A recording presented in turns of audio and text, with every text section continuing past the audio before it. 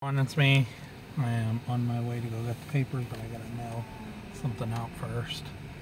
It was a survey from the hospital when I cut my head. They wanted me to fill out the survey.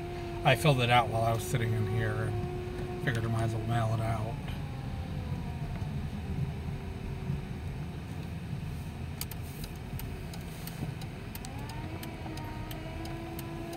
I was just saying if I had the best possible care at my last emergency room visit and filled it out.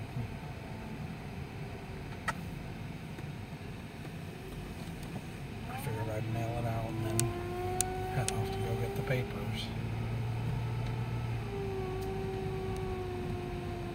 And then yesterday we used that uh, gift card from Subway that the one customer gave me. And it only cost 56 cents for the food.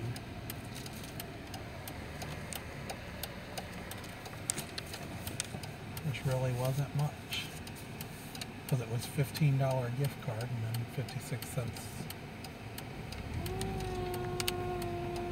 I don't know how to pay. So it was cheap. Like I said, it was a $15 gift card and the order came up to $15.56. Had $15 on that gift card, so it was nice.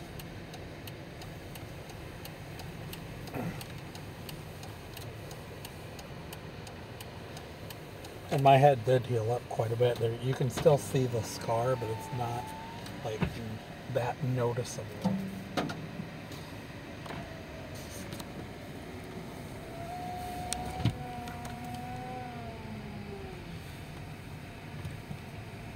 I should have enough gas to do some of the route today.